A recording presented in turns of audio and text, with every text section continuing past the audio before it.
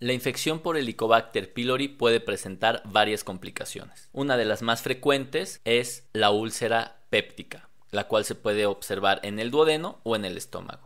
Esto ocurre porque el Helicobacter pylori altera la funcionalidad de la mucosa del estómago, aumentando la secreción de ácido, reduciendo la cantidad de sangre que recibe ese tejido y favoreciendo la producción de sustancias inflamatorias que pueden favorecer una úlcera en el estómago o en el duodeno. Esto en particular ocurre en personas que tienen factores de riesgo, como edad avanzada, enfermedades graves como enfermedades cardiopulmonares, el consumo de antiinflamatorios no esteroideos o analgésicos, y el consumo de alcohol, tabaco o anticoagulantes. Es decir, el Helicobacter pylori es una infección que puede favorecer la presencia de úlceras gástricas o pépticas. Sin embargo, una de las complicaciones más temidas por las personas que padecen Helicobacter pylori es el cáncer gástrico.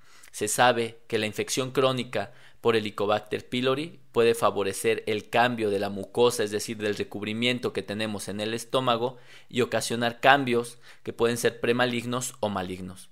Uno de ellos es el premaligno y se llama metaplasia, y lo que indica es un cambio en la forma del tejido o mucosa que tenemos dentro del estómago y que se puede considerar una lesión premaligna que requiere una vigilancia endoscópica estricta. Sin embargo, el cáncer gástrico sigue siendo una de las complicaciones más temidas, y si bien en Asia es un problema muy importante, los datos en México y en Latinoamérica no indican el mismo nivel de importancia como en Asia.